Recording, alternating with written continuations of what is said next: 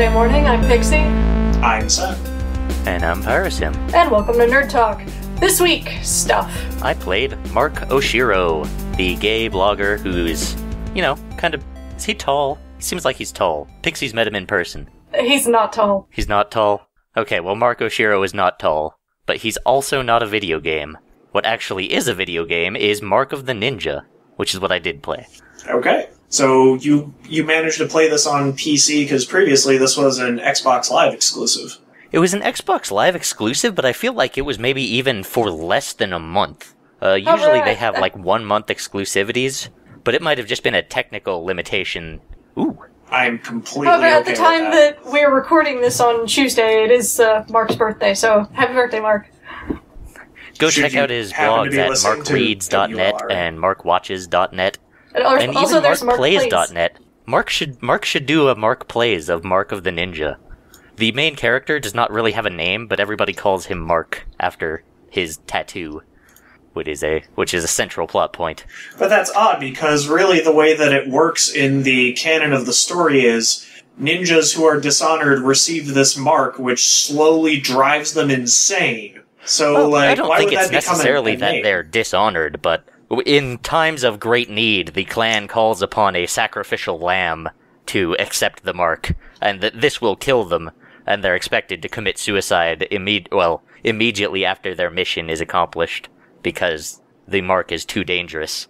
It has crazy psychogenic chemicals in it, but it lets you do magic stuff like psychically see things through walls and even teleport when you have the full mark. You know, like you do. So, Mark of the Ninja is a 2D action game, a stealth act. Why did I say action game? It's a stealth game. It's not even action at all. There's like a tiny action sequence that you can do if you get caught, but realistically, as soon as you get detected, you hit the start button on your controller and you tab down to where it says restart from checkpoint, and then you try not to get caught again. The game is like seriously why you being a bad ninja? yes.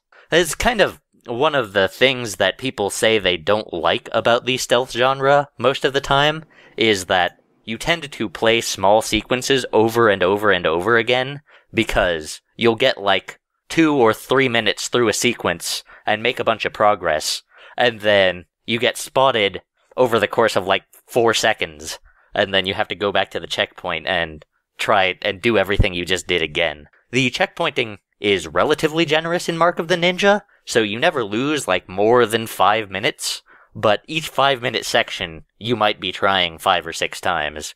One of the things that this game is gotten buzz about is the fact that it gives you a lot of information about how you're hidden and what guards can detect. And so if you are running, your foot will hit the ground, and at the spot of your foot hitting the ground, a circle will erupt. It's just like a little gray, semi transparent circle, and it will spread out to a radius on the screen that is how loud the noise was, and anybody inside the circle can hear you and will go wander over to investigate. And your character has two different sprites based on whether or not you are in shadow. There's one where you're illuminated and one where you're shaded. And those are the only two states there are. And every guard, when they're walking around, has like this very obvious cone in front of their face that only extends like two feet because all of these guards have bad vision apparently. And if you're shaded, the only way they can see you is that if you are literally inside their little vision cone. And so, it is very easy to know when you're detected or not, which is good, because you feel like you actually did something wrong when you have to restart this five minute segment for the fourth time. But on the same, on the other side of that coin, it feels kind of mechanical. It's like, well, I'm not thinking about if this guard can hear me. I'm thinking about if this circle is touching that sprite. The movement is really cool because it is a 2D action game. They kind of have to be liberal with how you can move, or else there would not be many ways to get around. And so you can basically stick to everything. It depends on the level. There are like some very rare roof uh, or ceilings that you can't stick to, but otherwise, you can just grab onto any wall or any ceiling and just stay there indefinitely. And it's not like you have to keep moving in a wall run in order to not fall down the wall. you can just grab onto a wall and hold, or a ceiling. And so, uh, the funny thing about that is it makes the movement seem a little strange when you're first getting used to it because you're like, I want to walk off this ledge to get down to this lower area. And it's like, nope, you just stick to the wall, and then you stick to the other wall, and then you're climbing back up on the ceiling, and you're like, I'm stuck to the ceiling, how do I just fall down? And you adapt to it fairly quickly once you're used to playing it, though. It has great controller support. In fact, I don't even know what the PC controls are, even though I played it on the PC, because the what I did is I launched the game and I got into a mission without plugging in or turning on my controller. And once I was already that far, I then plugged in and turned on my controller, and it was like, oh, yeah, okay, I recognize that you have a controller, go for it. That, is great because there's games can go either way on that. Assassin's Creed is actually one that kind of sucks about that. You have to have the controller all set up before you start the game, or it will never work. It will drop right into that. Uh, cutscenes are skippable. That's like always the sign of a good game. You don't want to skip the cutscenes because they're like beautiful hand animated uh, comic panels. But if you are perhaps playing a mission over and over again, which there's plenty of reason to do, there's like nine collectibles in every mission, and I didn't get all of them on any single pass through any of the missions, and I beat the game. Uh, you probably will want to play the game twice to get the full experience. I put about 11 hours into it, and I beat just the standard mode, but I get the impression that the standard mode is sort of the tutorial and the New Game Plus is the real game.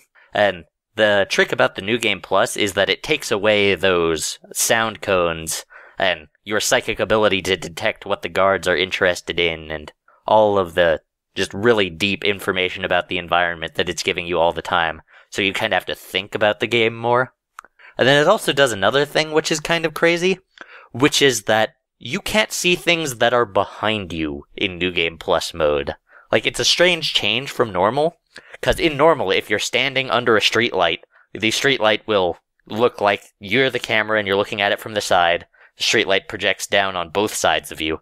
But in New Game Plus, you'll only see the part of the streetlight's beams that are cast in front of you, and behind you it'll just be grayed out. Because yes, it's illuminated there, but the ninja can't see it, so the player can't see it. Uh, that tends to make everything very dark a lot. And it would be just about impossible to get through that mode if you hadn't already played all these missions on normal mode. I think that was a fairly intelligent way to structure it. Uh, $15, uh, 11 to 22 hour experience, depending on how dedicated you are, so that's a pretty good value proposition. Uh, you sneak around, you kill people to make it so that you they can't see you anymore. And the story is kind of crazy. There's a hard choice at the very end of it that I kind of when I got to the last mission of the game, I sat in my chair trying to decide which choice to make for like 3 minutes. About equivalent to how long it took me to decide on my final decision in Mass Effect. Hmm. Actually, I, I kind of made my final decision in Mass Effect pretty quickly. I, I might have given it one minute, but Yeah, the final decision in Mass Effect not so the, didn't take me all that long. It was the uh, in Mass Effect Two, the destroy versus converting the Geth. That took me oh a my, while. that's my favorite choice in the whole series. I don't know. I kind of appreciated the support the Geth or support the uh, uh, the Quarians in Mass Effect Well- 3 because if you did not play that one exactly right, one of those two races would be wiped out. That choice is certainly really amazing and deeply interesting inside the fiction. The thing that I like about the um, converting or destroying the Geth is that it is sort of a interesting philosophical question even outside of Mass Effect about the nature of free will. Because it's like, okay, these rogue Geth, I can basically mind control them, and is that what is the ethics of mind control? Is basically just the straight up question. And after sitting around for about three minutes, I decided that yes, of course I'm gonna mind control these Geth, cause otherwise lots of people are gonna die. How did you fall on that, Pixie? Yeah, I kind of came to that conclusion too because otherwise I didn't want to. I wanted to have as much resources on my side as possible, and also, you know, kind of not doing violence. Right. I was I was a very non-violent Shepard for the most part. Uh huh. And then I kind of felt better about my decision after playing 3 because 3 sort of insinuates that the rogue Geth from 2 were already being manipulated by the Reapers. So it's like they were already mind controlled. I'm just mind controlling them differently. It's not like they were rogue Geth of their own free will, the way it was when it was the well, Quarians versus the Geth. I'd say Mark of the Ninja is a pretty good game. Alright, glad to hear it. I know you would. 8 of 10 stars. Nobody. Ooh, I, I'm looking at my notes and I realize there's something I forgot to mention, which is that there's a couple of really sly Metal Gear Solid references. Ooh. There's an achievement called Tactical Espionage Action, which I thought was pretty classy. Excellent. And there is one little stealth upgrade you can get that is a cardboard box that you hide under. That is awesome. Like, they're not really, um, front and center. They're not in your face about it. But it's like, yeah, you can hide under this cardboard box. Wink, wink, nudge, nudge. Seth, I hear you've watched some interesting trailers recently. Quite. I've uh, been getting really excited about Bioshock Infinite because I was such a huge fan of the original for creating a shooter that did something unique with its narrative, but also something unique with its setting and its playstyle. That it embraced the idea that, yeah, you have to creatively use these uh, psychic powers that you've been given while also just bloody shooting things sometimes. The original Bioshock was a very interesting game. Right, and so I was kind of disappointed when Bioshock 2 came out and it was great, so we're barely expanding on the original and adding a narrative that's less interesting in the same setting. Great, thanks. But now, Yeah, the trick about Bioshock 2 is like, well, it's it's all right, but it's not it's not it's anything nothing special. new or interesting. Bioshock 2 is Assassin's Creed Revelations Right. to Bioshock's Assassin's Creed Brotherhood. Whereas Bioshock Infinite is introducing brand new mechanics in addition to the plasmids. Like you've got the the grappling rappel hook that you use to not only attack enemies but cling to lines that slide you around the city. Uh, you've got Elizabeth's aid helping you out, which to date you've never had in Bioshock an actual NPC assisting you before. It's been a very lonely game, uh, unless you count the like little sisters randomly handing you things as real AI assistants. Um, but no, Bioshock Infinite actually is playing on all these really interesting mechanics. The idea of multiple time streams, uh, Elizabeth's powers and the nature of them, the floating city. Uh, yeah, it's going to a kind of crazy setting. When Right, you were like- playing the original Bioshock, you're like, I am in an underwater city that is like the 1870s, and there's all this objectivism, and it is, it's all crazy. And then Bioshock 2 is like, well, the objectivism is kind of worn off. We already covered that. Yeah, I'm underwater again. I was underwater before, so it's not this crazy. right, But, but, now, no, it is they're- a floating city, and going it's all. crazy in like imperialist America in full swing. Like if you look at some of the propaganda posters that got made for that game, it's insane. Yeah, that's that's what totally interests me is that they're lampooning another, well, lampooning and considering, not necessarily in a strictly negative light, although perhaps just putting light on it and then it is negative all on its own. Another ideology or movement. Right. I I am thoroughly interested in expanding the BioShock lore, seeing what the rest of this crazy mad scientist steampunk world is like. Like I cannot wait to see this. You do love your mad scientists. I do. I love my steampunk stuff and I love alternate history stuff, which it really feels like BioShock is just built on. No, I Bioshock is all alternate history forever. I am totally down with everything this game is presenting to me, and the recent Beasts of America trailer is, you know, capped with an absolutely amazing song that goes with it. So yeah, th- I will totally be buying Bioshock uh, Infinite day one, which, if I'm looking correctly, uh, has just come up for pre-purchase on Steam. The visual style is a little different than I was expecting. It's it's kind of bubbly. It looks like kind of cartoony in a way that I like. It's kind of interesting. I was I've mentioned earlier that I was always getting Beyond Quantic Dream's upcoming game confused with BioShock Infinite because there's the um out of her depth psychic lady and the uh dude without special powers who's has a better grip on his mental health but um the When I first watched the Bioshock Infinite trailer, I was like, this doesn't look like Beyond at all.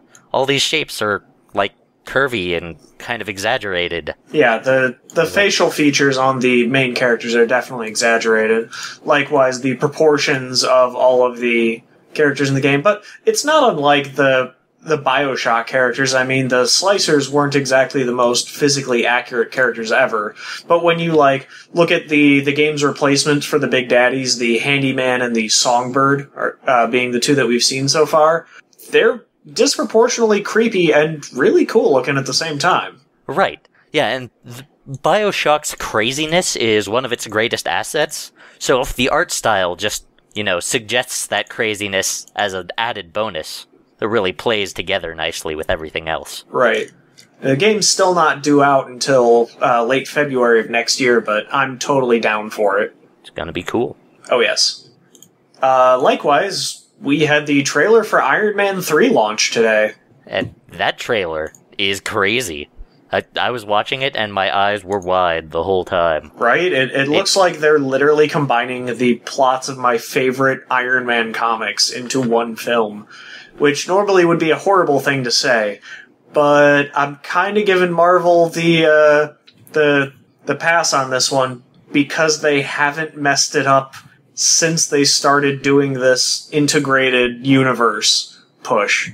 It's hard to criticize Marvel Studios at this point. Right, like, they've just been making I- great movie I after great movie. I genuinely think all of the Phase 1 movies that led to the Avengers were good films. Some were weaker than others, but they were all good. None of them were uh, Green Lantern. None of them even hit the lows of the Green Lantern film. Like, I even I, I gotta say, didn't I think, think the, the Green Lantern film was bad. Like it was watchable. yeah, it wasn't but it was- spectacular. It didn't hold up to any of the recent Marvel set movies. themselves on a different tier. Right, and I think that quality control is going to be behind all of the Marvel films going forward. Like, I, I think the absolute worst of the Phase 1 movies was Thor, yet that was still a really good movie. I really liked Thor. I might pick Thor over. Well, hmm. I mean, Captain America also could have been a really dull, boring film. I mean, let's face it, he's not the most interesting of the Avengers, but that film still managed to be really entertaining. I mean, none of those were as good as Iron Man 1 or 2, which, frankly, in my opinion, was the best of the Phase 1 movies. Yet they're all still good.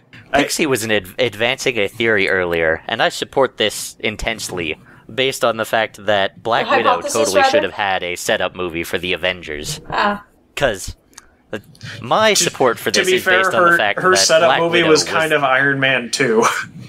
right. Yeah, that was Black Widow was my favorite. but she part was of a Iron Man. secondary character. right. She was not the main She was a character of that secondary movie. character that completely caused the plot to happen Yeah. and resolve.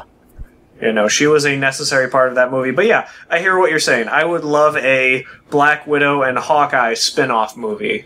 Yeah, Hawkeye too. You could almost You could even combine both those of in- them into yeah, the you same make one film. movie that's Hawkeye and Black Widow. Yeah, that would but be Well, interesting. But They- no, they've already be- flat out because we said need that- to, but we, because we need to give the only female in the Avengers her own freaking movie. Why is it the But- women always get delegated to But support here, roles? here's the problem with that. To do her own movie, it would have to be an origin story. You can't And? do the Black Widow's origin story because no one knows it. well, why does it have to be an origin story? It, it would be the Make it same like as a- doing a Nick Fury origin story. And they've never done a full accurate, yes, this is the hardcore set version in the current universe. Because the idea is that these characters are the mysterious dark part of the universe. Actually, um, I think it was last May. Uh, Johansson was actually a part of this link relevant. Um, Oh god, we're going to Huffington where again? she's where uh, Scarlett Johansson herself has you know been a proponent for getting her that uh, origin story movie. Right, well, they'd have to lock it down, and that's a problem. The Black Widow movie I want to see is actually not an origin story because, well, largely I'm not a fan of origin stories in comic movies, especially, well, I was gonna say, especially for characters where everybody knows the origin stories, like uh, Superman or Spider Man. You can just skip that part because, and get to the interesting stories immediately, and that would make a stronger movie. But even in general, uh, not having an origin story kind of makes characters intriguing because you have to decode them and find out what makes them tick over the course of events happening. Oh, not yeah. just it being spoon fed you like you're in a coma. That that idea that Loki was able to know parts of her past and hint at them made her a stronger character Absolutely. rather than just Um, yeah I- flat out explaining it to the audience. I would like to point out that in uh, September of 2010, the producer for the Avengers, Kevin Feige, had come out and said that he, he had started discussions with Scarlett about the idea of a solo movie and putting together concept stuff. But they Oh, yeah, wanted to do I- the Avengers first. I, I think each of these characters deserves a bigger story. I would like to know more about Hawkeye. I would really like to do another Hulk movie, which they haven't even mentioned the idea of that. Well, it's just it's it's kind of bollocks that uh, with the one female character that we have on the team doesn't get her own movie. She's always got to be a support to the men. I can't remember. Did the original Avengers have a female character? Wasp, Was she in the first set? yes. Well, I know she was in the Ultimates. I'm just wondering about the original I am Avengers crew. all but all but 100% certain that she was in the original. But I'm doing some research right now. The Black Widow story I want to hear told. And actually, one of the reasons I want to see a Black M- Widow movie is that I feel like there's a great story just to be told. And that is the scene in The Avengers where she is being interrogated by the Russian mafia, but secretly she's just reverse interrogating them. Make that movie, make a deep espionage spy flick. Make like a Bourne movie or a, a Bond movie. Essentially, that, That would be the Shield film starring uh, the Black Widow. It, it she doesn't even have to be associated with Shield. You can be like her as a civilian spy. But that that's part I- of the problem with using her and Hawkeye as independent film characters. They're more closely tied to Shield than any of the others. Well, you can include Shield, but I want a Black Widow movie with no supernatural elements. Hmm. I want a Black Widow movie that is just all humans, like just technology that exists today. That it could just be a James Bond movie, and Black Widow is just cold manipulating Just people, happens to be. Casino Royale style. Right. Now, I'm, I'm looking at the original roster for the Avengers. yep, so Uh, she was a founding member of the Mighty Avengers. Ant Man, Wasp, and Iron Man, and the Hulk. yeah, I, I Oh, called and Thor. totally called it. The Cap was added later. Also, She first appeared in a comic in 1963. okay. Pixie knows Yep. her comics. I have a feeling the Wasp they're waiting on for the inevitable Ant Man movie. That's a funny no, they've joke. already announced it. That one's coming. All right, now you've made me angry. They're At first, I was just like, okay, I want this Black Widow movie because it would be cool. They're at they greenlit an Ant Man movie. Ant Man is coming. I was gonna go ahead surprised they put this out actually didn't have a reference to Ant Man is a it. in this- terrible character. Oh yeah, Ant Man's like complete crap. Hank Pym is one of the worst characters in the Marvel universe. Okay, well, as long as we're clear on that point. Ah, I have no argument. and not I- like he's a terrible person, but an interesting character. No, he's just a terrible character. yeah, I Yup. I am frankly more interested in the Guardians of the Galaxy movie that they have announced because you know what? Rocket Raccoon on the big screen. Oh my god. Okay, that is appealing to me. I would go see a Guardians of the Galaxy movie. The one thing that I'm really hoping will come in in the next Avengers movie, I want to see Agent Coulson revived as the Vision. That needs to be in there. That would be pretty awesome. You can't let that character go. Although they have said when they start the uh, proposed Avengers TV show, Agent Coulson will be in it. Very cool. Besides, these movies wouldn't really be comic book movies if we don't just retcon deaths and resurrect people left and right anytime we feel like we, it. we saw his body dragged off. By no me, uh, by no stretch does that mean that we couldn't have revived him in some way later. I don't know. I, I, these movies are just going to continue to get crazier as this goes on because as they just add character after character, like I would love to see Power Girl added to the universe because I think she is an amazing female character in the Marvel universe. She is damn cool all the way. She's Power Girl is a great character. I would like to see somebody go over to Sony Sorry, Pictures. Power Girl is DC. I'm thinking Miss Marvel. Does Miss Marvel have a chest window? No. Uh, let me double check. I know she's not wearing pants, but she does not, in fact, have a chest window. There, I found a picture of her. Uh, no. That's, this is wearing- the second. This is the second time in ten minutes I've managed to call you on something in comics. It has been months since I actually bought a comic book. Gonna admit that. I don't even. Well, all of the comic book stores I used to go to in my town have gone out of business, as comic book stores are wont to do. And I don't even really know where to find any anymore. Like, I'm sure they're around, but. Oh, Ours in town internet? is still doing just fine. Uh, we're just lousy with them, honestly. Right. Illinois comic book shops, we're doing fine. Um, no, I would love to see Miss Marvel added to the roster. I really hope they do Wasp and make her a strong character. I think she could be really cool. Um, trying to think what other Avengers. But can I'd we like get to see. Wasp without getting Hank Pym? Because No, unfortunately, I think the two come together. a package deal, codependent. Ugh. Yeah, I you're just want having flashbacks of reading the feature Ultimates, film? Featuring somebody going over to Sony Pictures and grabbing executives by their collars and punching them in the face until they relinquish the Spider-Man and X-Men and uh, Fantastic Four licenses. I, I want the Fantastic Four in this new Marvel universe. I really do. I so want to see Reed Richards interacting with the Avengers.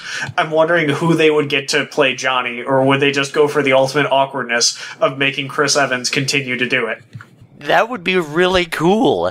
Yeah, just have Chris Evans play two characters in one movie, and just like if they they're in shots together, just you know CG it. I don't care. Work exceptionally hard for this.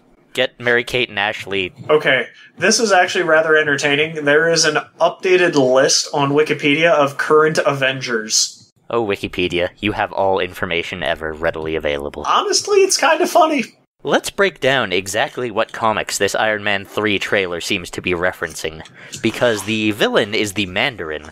Right, which is genuinely classic uh, Iron Man. Like we haven't seen we haven't seen uh, the Mandarin in a while. Like he's come up in in recent plot lines, but like none of the major ones. He's just kind of been like a background villain. And I am thinking, while I was watching this trailer, there seem to be references that the events of the Avengers movie have driven Tony Stark into a bit of a depression, and perhaps he has turned to the bottle.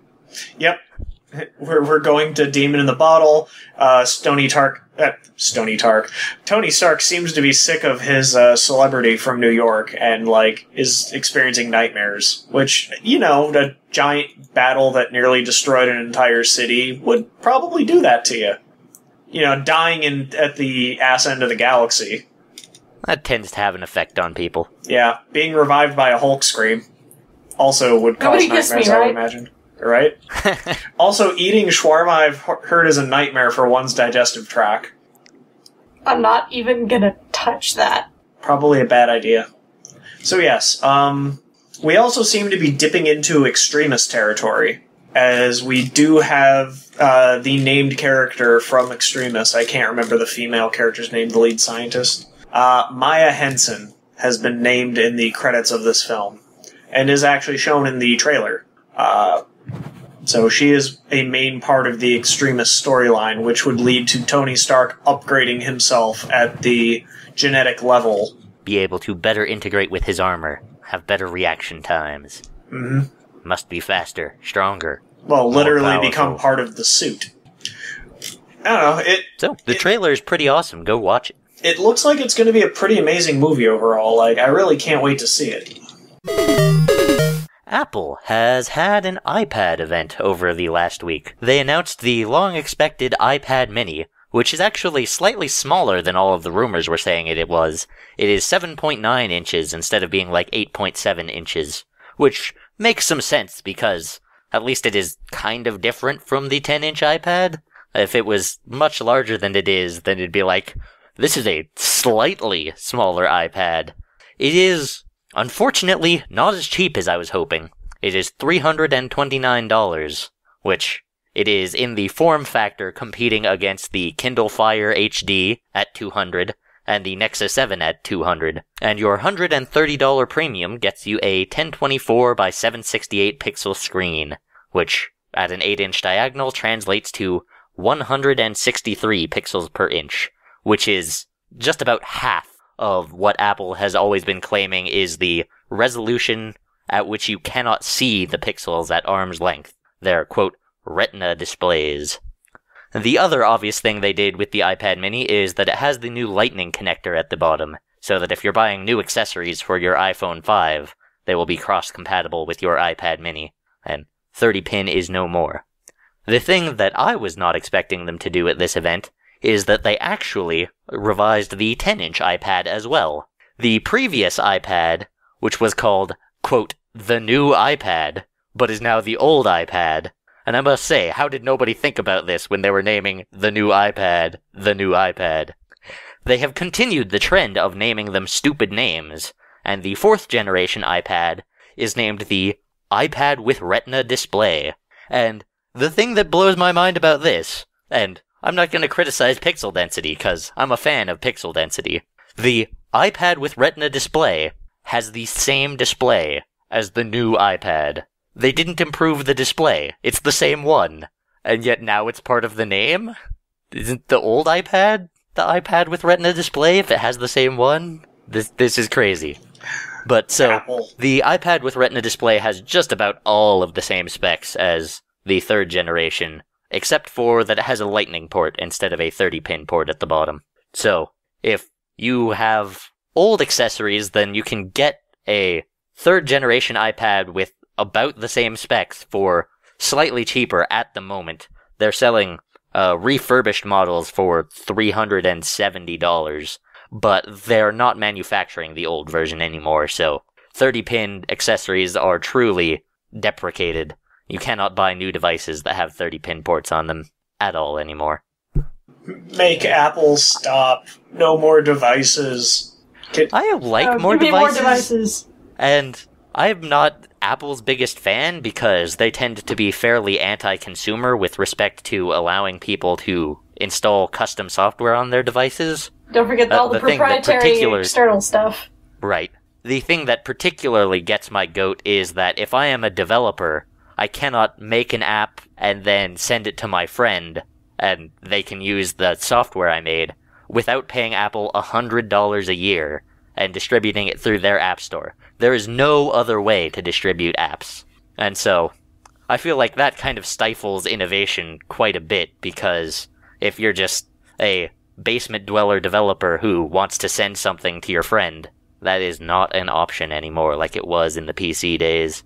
Um, but the other, the thing that I have really liked about Apple is that they have been a proponent for pixel density. The Retina display was their idea, and nobody was really trying to push the envelope in that regard until Apple did it on the iPhone 4.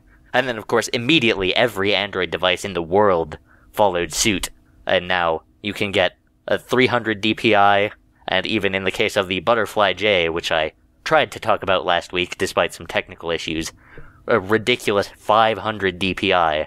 So, Apple has been really good about that, and that is why I'm disappointed that the iPad mini has such a low resolution screen. 163? That is way less than 300. It is technically the same resolution as the iPad 2, and it is smaller than the iPad 2, so that makes the individual pixels smaller, but I have a friend who has an iPad 2, and I have read a few books on it, and I must say, it is not a great screen for reading books on. The letters are all jaggy instead of being super smooth like they are on paper. Pixie, I hear you've been studying for the upcoming Windows 8 release. Indeed, I'm kind of still doing that actually, because I'm looking to get certified through Microsoft for that. Um, just been going through demos and stuff, playing around with all the stuff that's gonna come out with Windows 8, and honestly, uh, okay, um, the best thing about it is also kind of the worst thing about it, in that this is totally designed to work with a touch screen, like, seamlessly. Like, all of the gestures and stuff, totally intuitive, love them. Uh, and it's going to be the, the same OS across their, you know, Windows phones and their tablets and their little tablet laptop hybrids.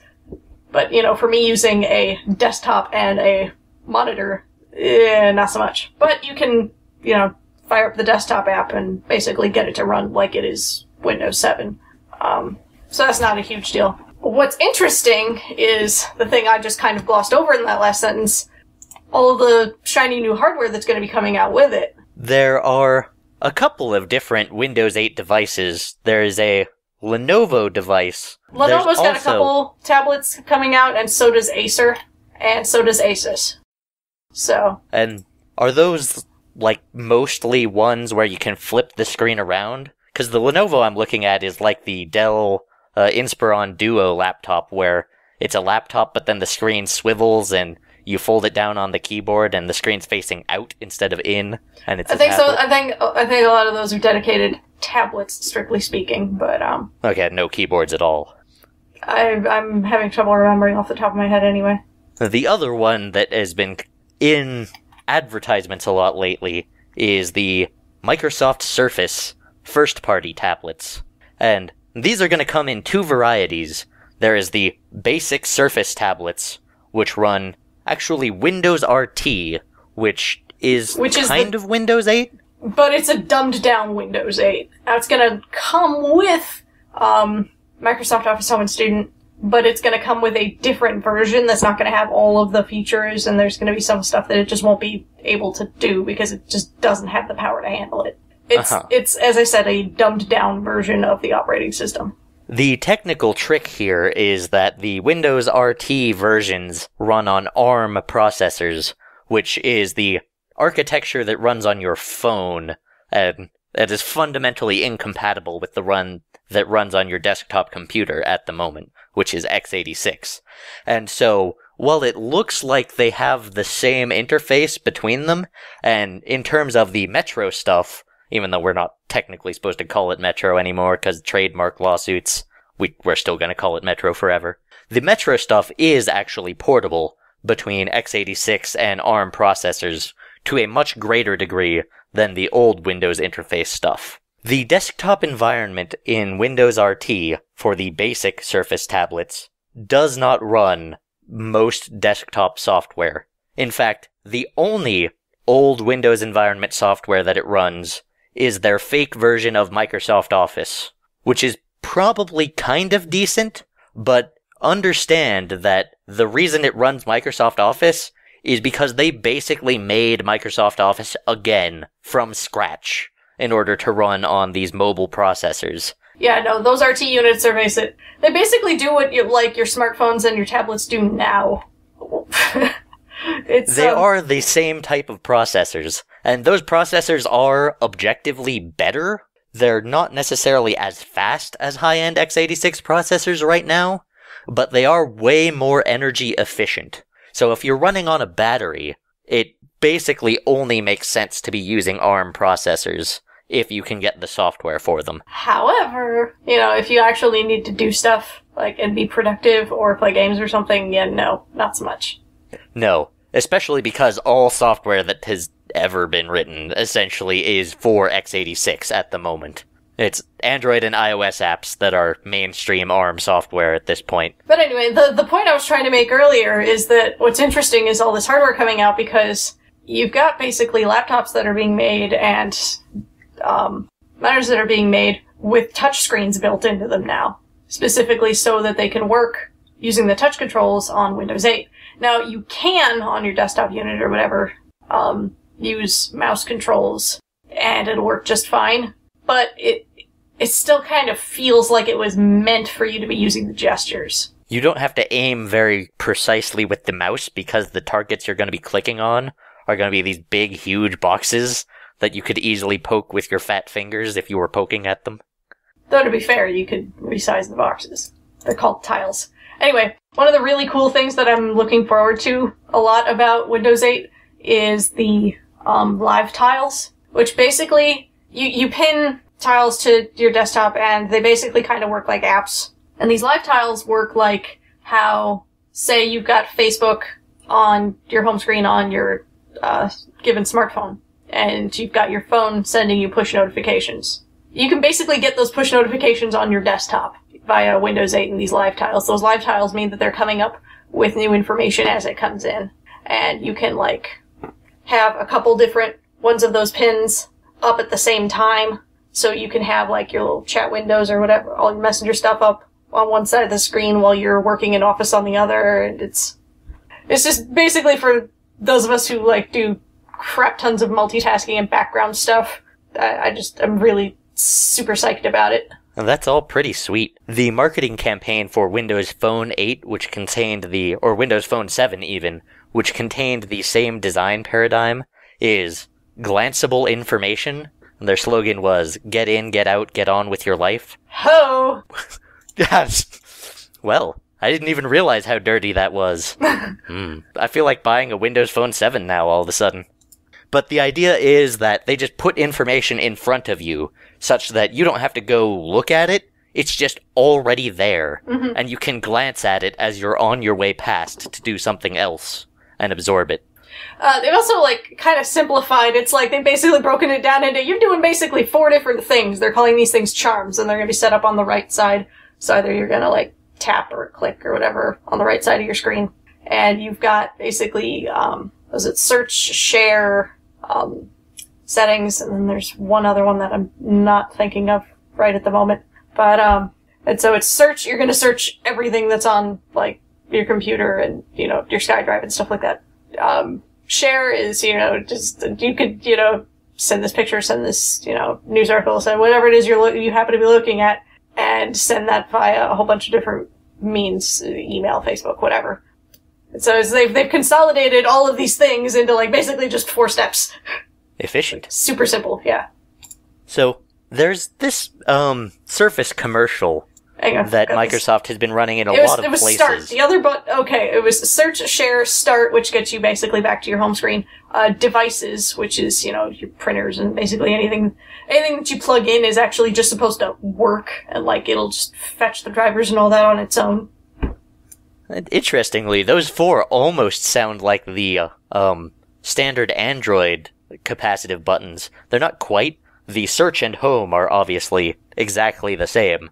And then what was it? Share and It's search, share, start, um, devices and settings basically. Which, among other things, you use to like you know personalize your background pictures and change colors of stuff and change the size of icons, things like that. woo. It all just kind of seems like uh, this is taking some cues from the smartphone world. Things we've learned about design over the past five or so years. There is a commercial that Microsoft has been running in just about everywhere for the Microsoft Surface tablets that consists of no information about the tablets themselves, but a extensively choreographed dance routine with lots of clicking. And the the one thing that interested me about it in passing is the very mainstream morning radio friendly dubstep that for I briefly thought was was nastier than it actually was, and I had to get second opinions from my co-hosts, and they informed me that it was not actually very substantial. But there is it is interesting that Microsoft would choose to market the Surface with no technical information, but rather some dancing and some Just light some dubstep. mainstream dubstep. It's like the it's like the dubstep your mom listens to to pretend that she's cool. Because we're hard. The other thing that that commercial reminded me of is like they're trying to rip off the OK Go music video with the treadmills. It's just like this dance routine where they're throwing all of these Surface tablets around for no reason. Honestly, it's probably the same company that made both commercials. Hey Sen, Yep. I want to play a new champion in League of Legends, not one of the old ones. Oh, great. When do I get to do that again? Great, you're waiting until next week. uh, due to season two's conclusion, they have not released a new champion in League of Legends since Kha'Zix, who was the last one added to the game. And this time around, they're going to be going into somewhat familiar territory.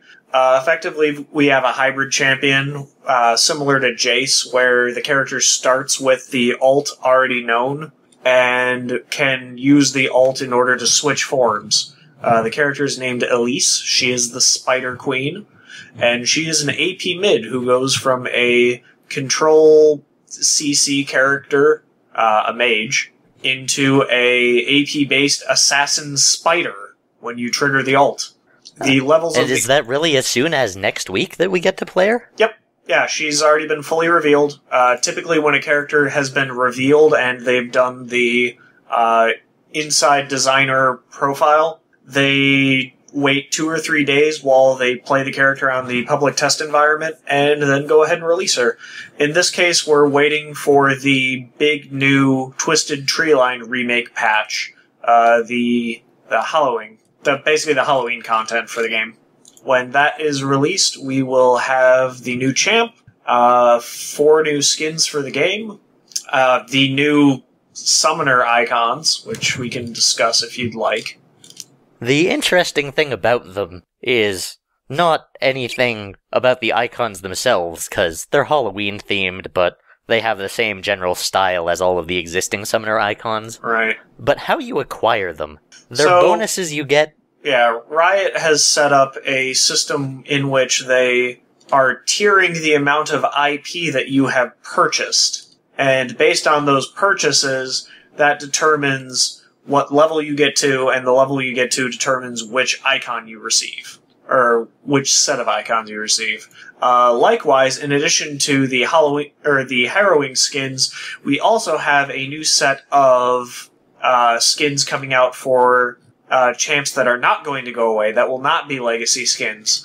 Uh, those skins are this year's Pirate Ryze, Zombie Brand, and Headmistress Fiora, which, as much as I'm usually against the fetishized costumes, which I put that in air quotes for some reason, not quite sure because none of you could see it, the idea of Fiora beating someone with a ruler is hilarious. Oh, that actually does sound interesting, but I want her to be a nun then instead of a teacher. Nope, she she is headmistress. She's not even a teacher. She is wearing a very smart uh, business dress with admitted quite a bit of exposed cleavage, but uh, it's not as terrible as say like the Vayne art. I, I'll go ahead and link this in chat right now. Un momento. What are you gonna do, Sen, when we go live? Uh, just censor myself in general. I don't blame him, because I don't want to be live ever either. Admitted, if that's my only one this show, I'll consider it a uh, a boon. So yeah, like Zombie Brand. okay, that looks like- zombie brand looks funny. He looks like Mr. Freeze to me for some reason. And for some reason, Brand is now wearing a tie. I guess I guess it's because Brand has his Batman Mr. Freeze skin. Right? It's like I still get that vibe from the zombie version. Admitted, Pirate Ryze looks nothing like normal Ryze. Like, I'm really Pirate hoping. Ryze is I'm- basically just Gangplank. I am praying there's an big gun. animation where, for like Riot, uh, Ryze's Q, he actually pulls the cannon from his back and fires it. I want to see Pirate Ryze and Gangplank leaning together, even though it makes no sense. Considering we now have like five pirate skins in the game, Yeah, we do actually, because I think and actually they're all in got the those art. two. They're all in the art here.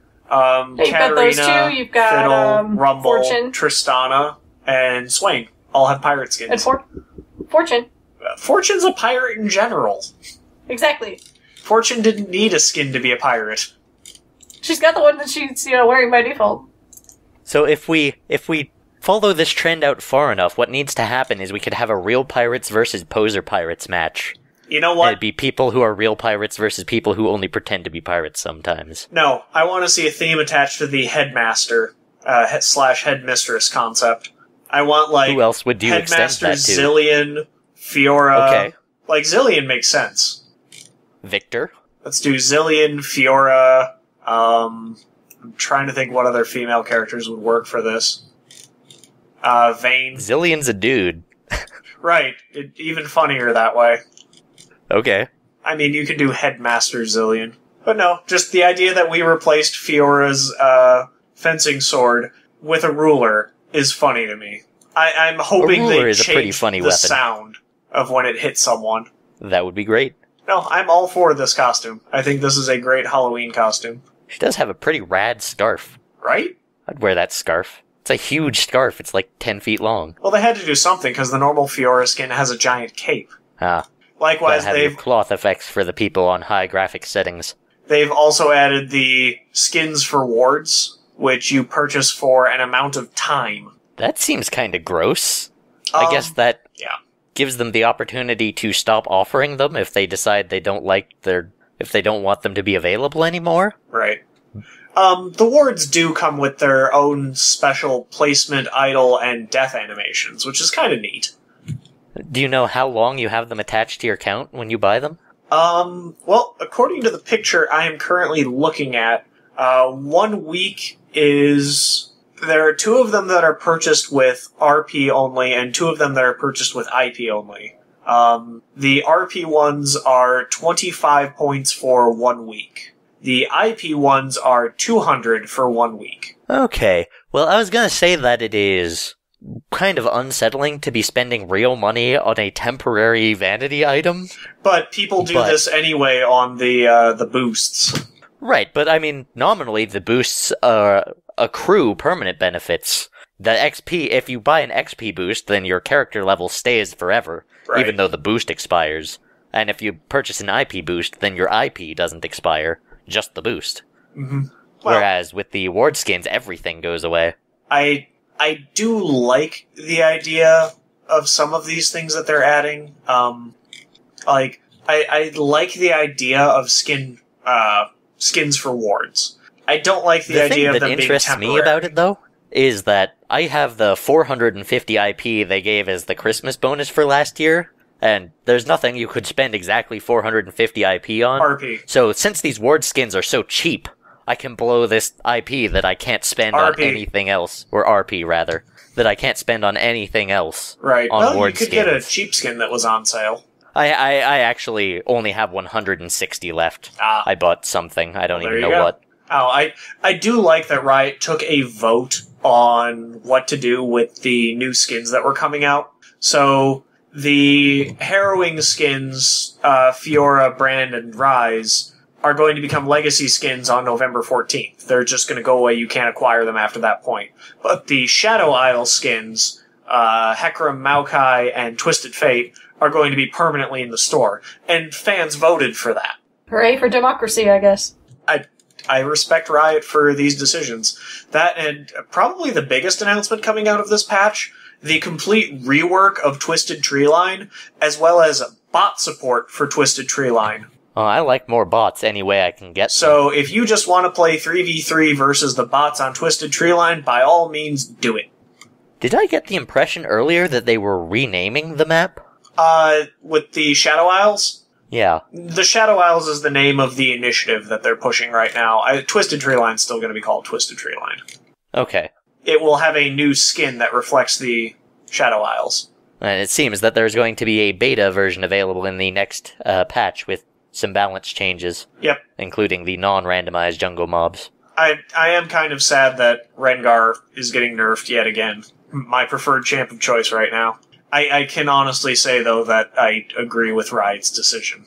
Rengar is pretty powerful. Right, he's taking a hit to the uh, cooldown on his ultimate, and he's having his the power on his empowered Q reduced from 250% of his damage to 200% of his damage. So not that big a deal.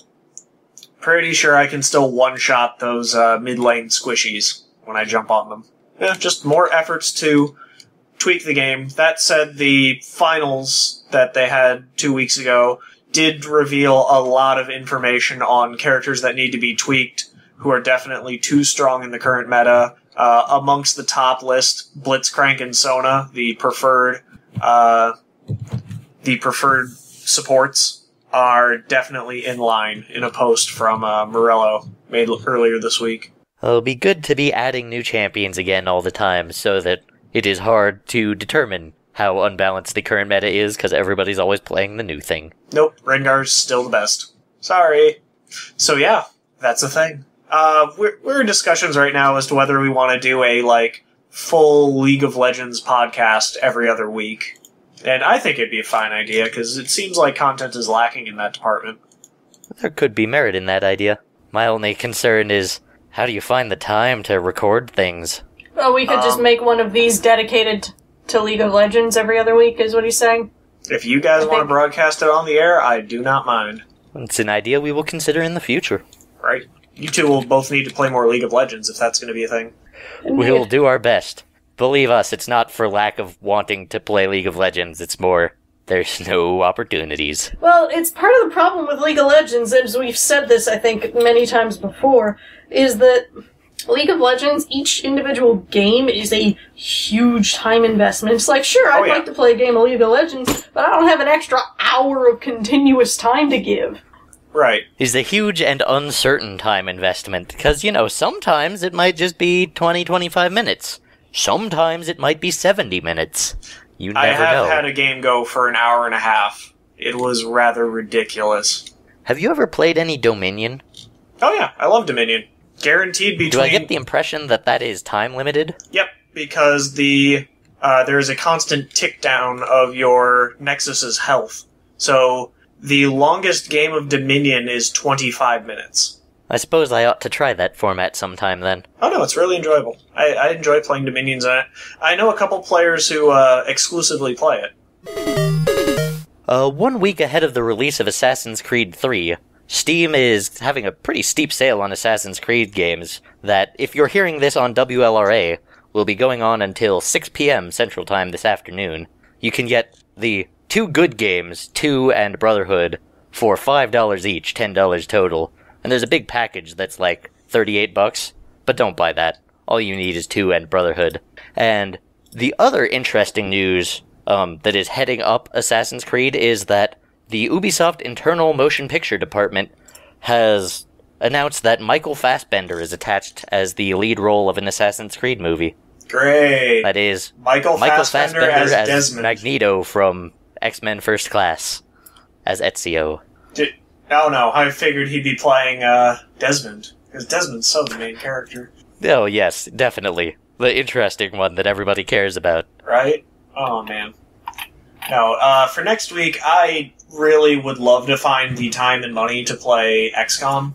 I have. heard I really want to play XCOM things. too. It has been dominating the gaming scene. Everybody Yeah. loves it. I, I want to play it so bad, but I don't know if I can find time with the Journeyman League that we just started, plus the largest War Machine tournament of the year being two weeks away. just in terms of doing my homework and not very much else. I very nearly put my car in park at a traffic signal earlier today and fell asleep in the driver's seat on a main road in my town. That's going to be me in So- November. Should add XCOM into that mix and see how that works out. Uh, probably not well. So yeah, this has been a thing. Alright, so in the next hour, we're probably going to continue plugging To Kill a DJ because we have fabulous prizes coming up in our upcoming raffle drawing, and you need to buy some tickets and help so- the families of some sick children. Um, our show will be Thursday, November, was it 15th? Yes, Thursday, November 15th from 6 a.m. to noon. Uh, we'll also post a recorded version after the fact, but the important thing is that you really, really must pick up some raffle tickets. They're three dollars each or two for five off of me. Um, you can shoot us a message on our Facebook page at facebook.com slash nerdtalk, or um, you can tweet me at nerdtalkpixie, or uh, stop by the studio even while we're there. Honestly, Ah, yes, a whole bunch of and ways. last Um, week we promised hard information about what some of the prizes might be, and we've put together an amazing prize pool. and you are welcome, guys, because There I've- is, amongst other things, a copy of Beyond Good and Evil for the PC. So I've got Steam keys for we've got Steam key for Torchlight 2, we've got a Steam key for Beyond Good and Evil. I just picked up Steam keys for those two Assassin's Creed games that you mentioned. There are Blu-rays, a special edition Blu-ray of The Avengers, great movie, that you can win. Um, there will also be a uh, paperback copy of Ben Yahtzee Croshaw's first book, Mogworld. So that will be exciting. And we'll probably have some other stuff too. That is just a taste of all of the amazing winnings you can have by supporting these ch- children and killing these DJs. For serious guys, three dollars, and you can help some kids out, and it will be great. Anyway, so in the next hour, I'm sure Pyro and I will have more to go into um, as we draw closer to the weekend. Uh, Sen, you got anything else before we kick you off the show? I have nothing. Get out. Bye. All right. In the meantime, I'm Pixie, Um, I'm said. I thought you were supposed to get out. I'm Pyrosim. and we'll see you in just a few minutes at the top of the hour on Nerd Talk.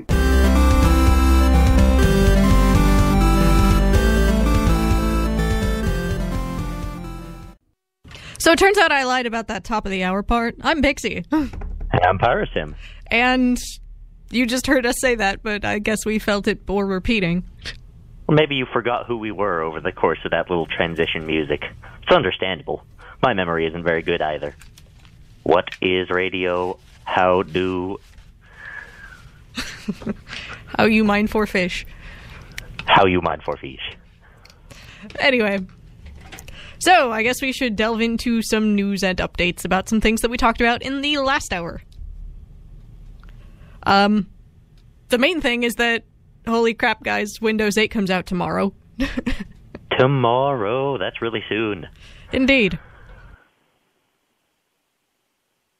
So, are you going to have it on launch day, Pixie? Uh, I hope to. Um, I've got my submission to Microsoft for the upgrade from Windows 7. So, fingers crossed, because we picked up uh, my desktop rig fairly recently. It was just the summer. So, we'll see how that goes. Microsoft has a program where if you bought an OEM PC bundled with Windows 7 after June 9th, I believe, at least early June, you can upgrade to Windows 8 for $15. $15 is not a lot of money. And if you're not eligible for that program, it is only $69, which is way cheaper than Windows has ever been in the past.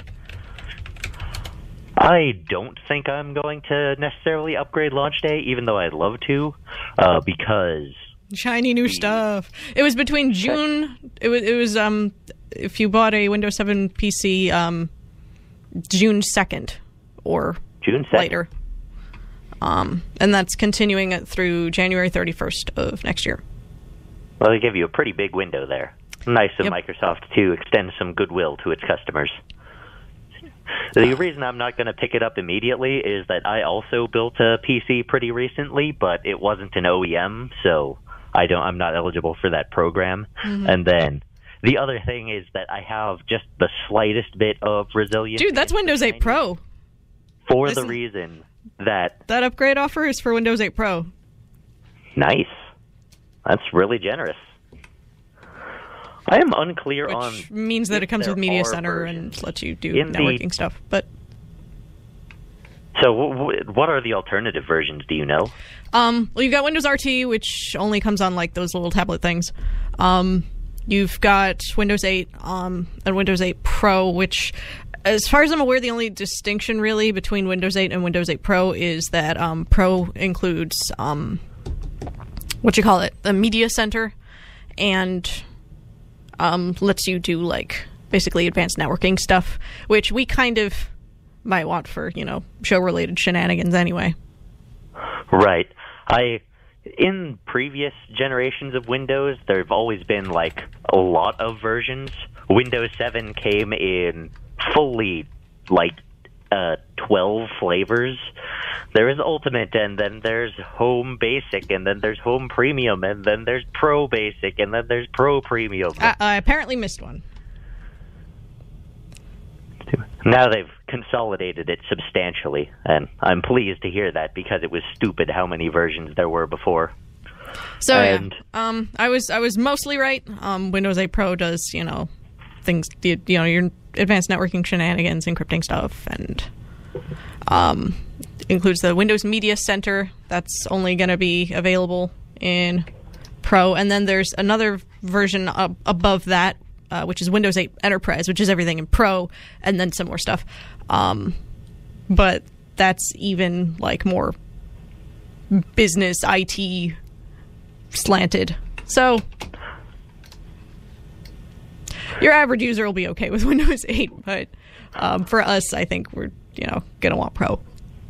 Yeah, I tend to take advantage of one or two of the crazier features of Windows that aren't available in at least Windows 7 Home Basic, such as the remote desktop connections feature, which, if you've never used this, it is kind of mind blowing to find out that it exists, but there's basically a protocol built into Windows where you can just log into another computer over a network and it controls it just like you were local.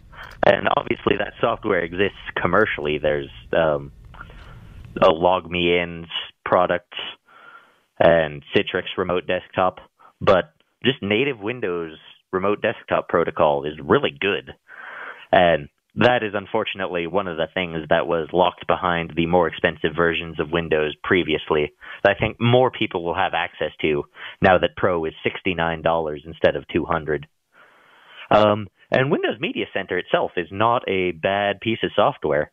If you're going to be using your computer hooked up to a big TV, if you're going to put it in your living room, Windows Media Center is probably the software to use. Uh, it's got, it looks actually a lot like Steam Big Picture if you've used that, but not Windows Media Center. and I don't know if you can control it with an Xbox controller. I actually have had two PCs that have come bundled with Min- Windows Media Center Edition, and they came with um, infrared remote controls that look like TV remotes that you control them with uh, via the paradigm up, down, left, right, just like you would an analog stick. I gotta think that you would be able to control it with an Xbox controller, but it's it's very pretty for putting on a big screen that you're going to sit 10, 15 feet away from. Uh, anyway, I was going to say that the reason I have any resistance against the shinies and buying in at full price on launch day is that I spent a fair amount of time with the release candidate, which was available for free prior to release. And so I, I at least have, I know what the shinies are like. I can postpone them for a little bit. Oh don't what I'm waiting for. Probably a sale. Like I can get it for cheaper than 69 if I wait. And then the other side effect, of course, is that drivers will only become more stable the longer I wait. I am tolerant of crashes because I'm a power user, and so if my driver crashes, I know what happened, and I'm not just like a grandma who's like, "Oh, it doesn't work." How how uh, my world is falling apart. Just be like, oh, okay, well, I'll just deal with this.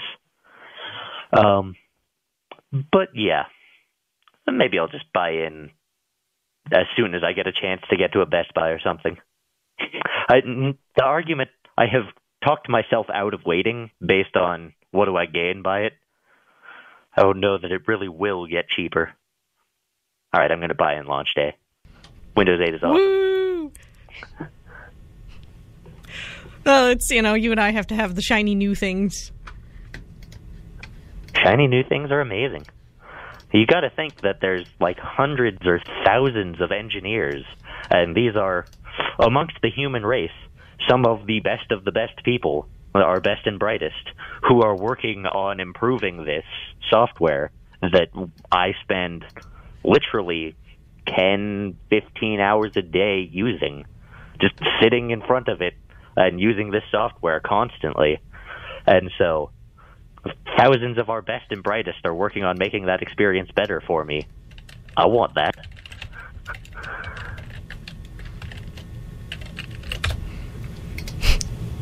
So yeah, I, I'm I'm just looking forward to getting my hands on a shiny new toy that I can play with, and you know, all of the fun times of you know picking colors and backgrounds and redecorating that goes with that. I, I feel a little bit silly admitting to that, but there, there it is. Hey, I like picking backgrounds and colors. I feel like I'm almost going to have a negative sensation of having Windows 8 and looking at Metro, and even though I, I feel like Metro is super usable with a mouse and keyboard. I just want to poke it. I feel like that. That is as as I said in the in the monitor on my desk. In the last um segment, I I had said, um, well, not last segment, but in the last hour, I had mentioned that the best feature about Windows 8 is the touch gestures. The worst thing about Windows 8 is the touch gestures because, well, you want to use them, and then it's like, nope. But it, I mean, I'll know more once I get my hands on it, but they've, they've got it set so that you can run it like a regular desktop and that, you know, you can use all of the stuff with the mouse and keyboard, so it shouldn't be bad. Right. And realistically, as cool as Metro is, I'm not going to be going to Metro Internet Explorer for my browser. I'm still probably going to swap to the desktop interface and be using Chrome and 99% of my computer time is looking at a full screen Chrome window. So maybe I'll only be looking at Metro for a few minutes a day. Maybe the the siren call won't wound you so badly then. Yep. Maybe I won't be at risk of actually just sticking my finger into my non-touchscreen LCD monitor on my desk. And then feeling the crushing weight of your disappointment. Yep. So I want to talk a little bit about the reason Metro is not called Metro anymore. Uh, TechCrunch sure, has a story it. about it, and they are acting like it's kind of mysterious. They say that Microsoft changed the name and nobody knows why, and the new official name is quote the new Windows user interface. Um, this is kind of disappointing from TechCrunch because I think the reason is fairly well documented. There was some other entity that was using the Metro name in Europe, and they had some trademarks on it, and Microsoft just got out of Dodge to avoid litigation. Um, and I am okay with you abandoning the Metro name if there was a trademark conflict. But my pro- I want to protest to the fact that they did not give it a new name in replacement for that. Quote, the new Windows user interface is not a name. If you want us to stop calling it Metro, you have to give it a different name. People, why do companies not give things names? Why is the iPad 4 not named the iPad 4? It's crazy. All right, shall we? There is a new thing that does have a name, though. The Samsung Galaxy Note 2, which just had a big unveiling event in New York at 7 p.m. Eastern Time last night. And I have to criticize TechCrunch again because they had a post saying they were going to live blog it, and then I was like, I was desperate for coverage of this event because I was in a class at school during this event, but I was like, I, I need I need a live blog. Somebody get me a live blog. The Verge, can you help me?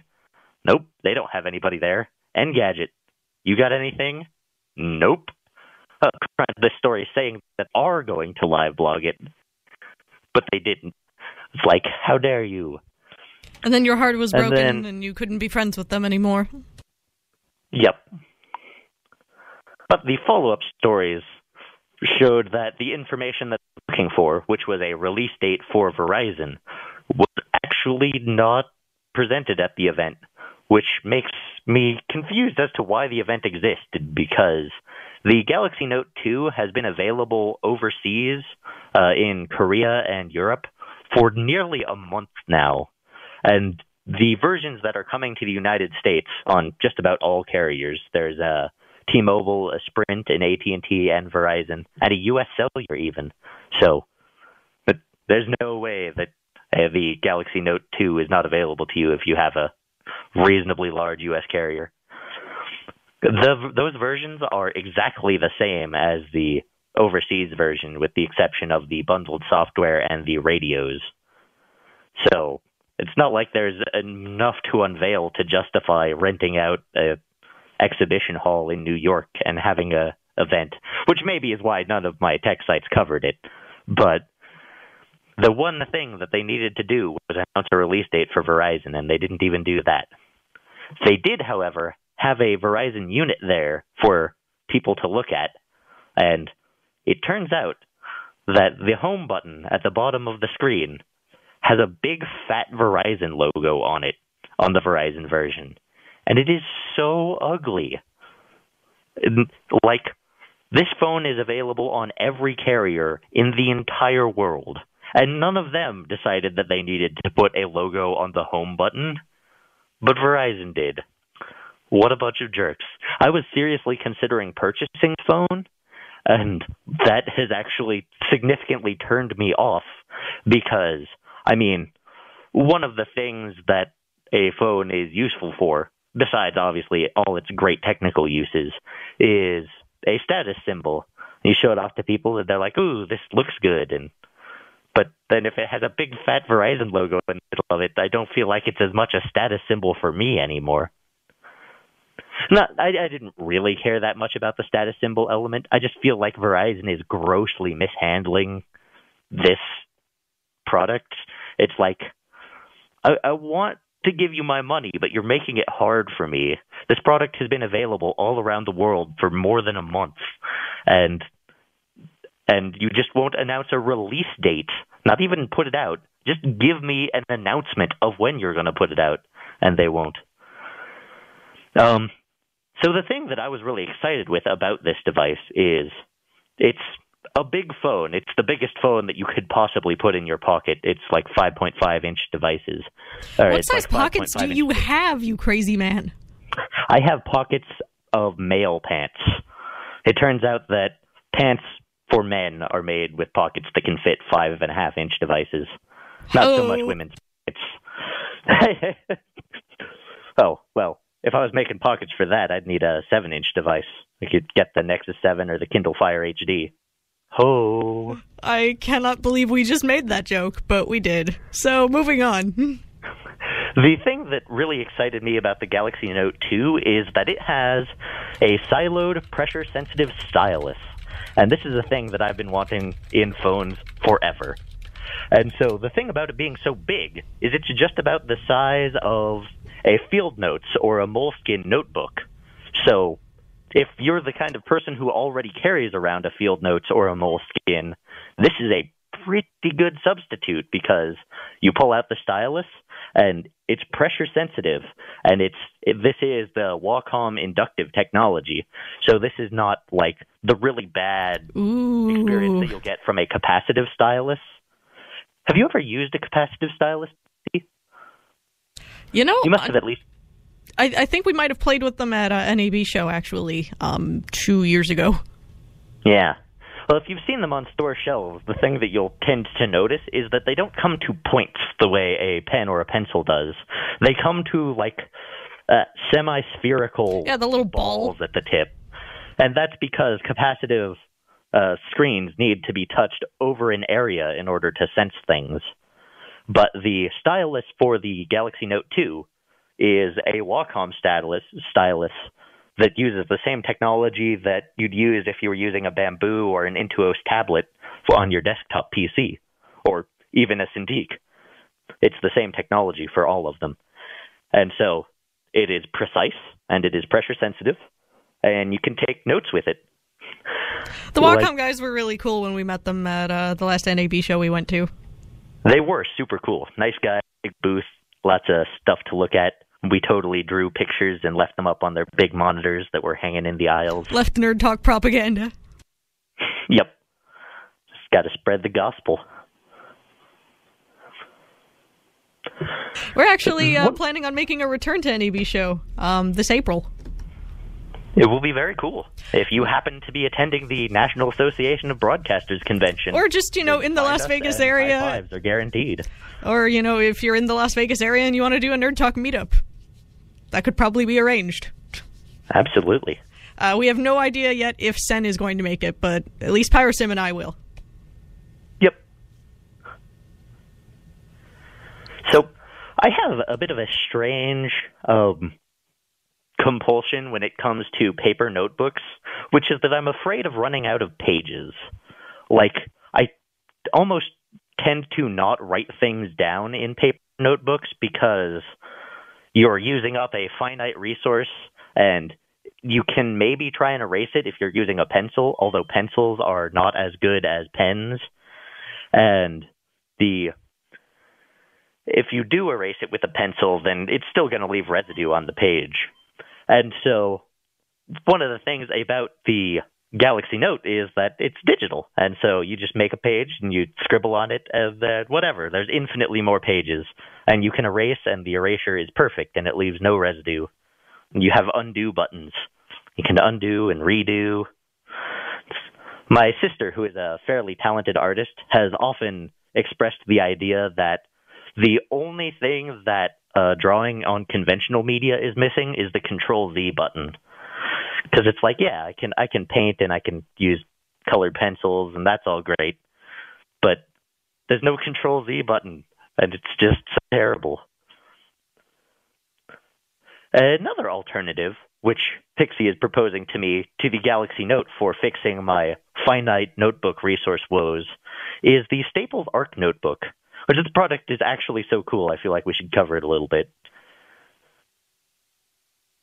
Uh, what do you want to know about it, really? I mean, I don't want to turn this into a commercial thing. It's it's got well, the idea is that you can put new pages in it and take old pages out of it. And it's got a whole bunch of different types of pages and like accessories like pockets so you can store things other than just pencil markings in your notebook.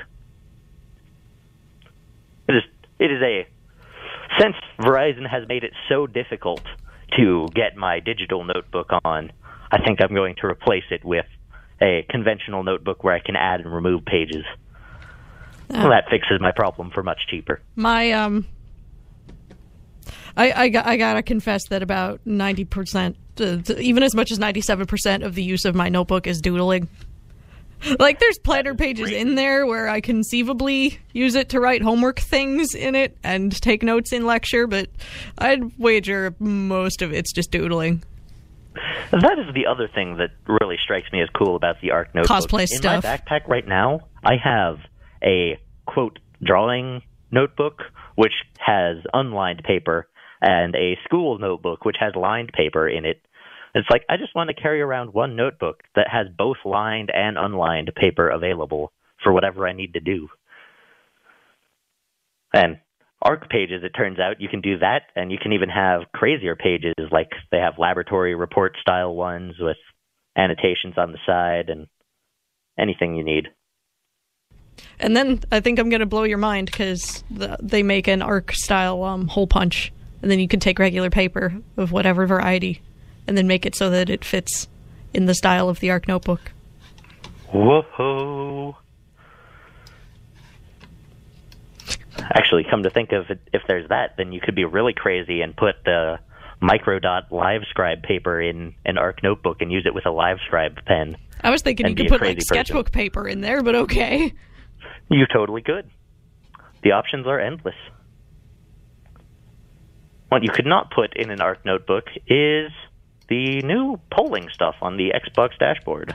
That is the most awkward segue you have ever done on this show, and that is saying something. I like segues awkward sometimes. They're like puns. I feel like a bad pun is better than a good pun sometimes. In moderation. I like me a bad segue here or there. I, I, had only mentioned this, and like people are getting up in arms over the content of the polls. I have no interest in that covering that because this is not a political show. Um, watch me not care. I'm more interested in this on the technical aspect, and that the ooh, this is kind of neat, and that apparently, and I think I covered this before when the presidential debates were first starting. Is that if you watched all like at least three of the debates um, on your Xbox 360, you got like exclusive armor for your um, Xbox Live avatar, which I thought was neat. I have not managed to watch a single one on my Xbox, however, because I've always not been at home, which is kind of sad. But, um, anyway, so this thing I was noticing that um, they've been doing, which I hadn't had a chance to see prior to today, was that apparently, um, if you're watching the debates on Xbox Live, they do live polling that you can like vote on like certain issues with using the directional pad on your gamepad, like yes, no, not sure on particular issues, like how you feel about I don't know drone strikes or whatever, and I, I just thought it was a cool feature that you know engages you instead of just you know passively watching things or putting them on in the background. It's I, I, I am so into the idea of active engagement in content, um, participation rather than consumption. Absolutely. Like that is something that I really value as well. Then it is also nice that this is kind of meaningful stuff. As I compared it initially to the Everybody Votes channel on the Wii, and Pixie's response was that yes, it's like that, but not stupid and meaningless. Well, because you know, presumably these things are the the content of these polls are slightly more important than what you had for breakfast or what your favorite color is. Yep. I also can only imagine that the user experience will be better than the Everybody Votes channel on the Wii. At the very least, this it looks pretty, prettier. Uh, let's And see. Where Let's be realistic. You're going to be using an Xbox. Nobody's using their Wii. Ah, snap. Um, at any rate, we're kind of running up against the clock here, so I wanted to knock out one one last pitch for. Um, actually, what are we doing next week? Um, I have no idea. We'll have to wing that one. We next week we'll do something. Uh, uh, I wanted to get one last pitch out here for Tequila DJ, the biannual charity here at WLRA 88.1 FM, The Start, um, where we raise funds for Advocate Hope Children's Hospital Family Assistance Fund. Um, So all the proceeds raised from that um, directly benefit the families of the kids who are hospitalized there, who you know need money for things like prescriptions, transportation, food, um, important stuff. It's not going to you know be buying the hospital you know any new wings, but it, it goes directly to the families, which I think is kind of nice because hospitals tend to get you know sponsorships from people with much fatter wallets than you know the everyday family will. Right. And so it's a really great cause. Um, we do this, like I said, twice a year. Um, this is our fall 2012 iteration. Uh, I'm doing a um, Nerd Talk's doing a raffle where we're giving away some awesome prizes. Um, the tickets are dirt cheap at three bucks each or two for five. You can send me an email to pixie at nerdtalkshow.com. That's P I X I E at N E R D T A L K S H O W.com. Um, you can like us on Facebook at facebook.com slash nerd talk. Send us a message there if you're interested. Uh, or tweet me at nerd talk pixie. Uh, some of the prizes that we will be giving away in this raffle include um, Steam keys for Torchlight 2, uh, Beyond Good and Evil, and let's see, two Assassin's Creed games, which are Assassin's Creed 2 Deluxe Edition and Assassin's Creed Brotherhood. There'll also be an Avengers Blu ray DVD. Um, all kinds of fabulous prizes. We're going to try and give away like one prize every hour at the very least on Thursday, November 15th from 6 a.m. to noon. And of course, if you want to catch the show after the fact, we'll have recordings posted on our website at nerdtalkshow.com. well, oh, boy, that was a lot to spit out at once. Pyro, you got anything? Yep. Just everything she said. Everything I said was correct. Well, in the meantime, we'll catch you next week on Nerd Talk. I'm Pixie. And I'm Pyrosim. And thanks for listening.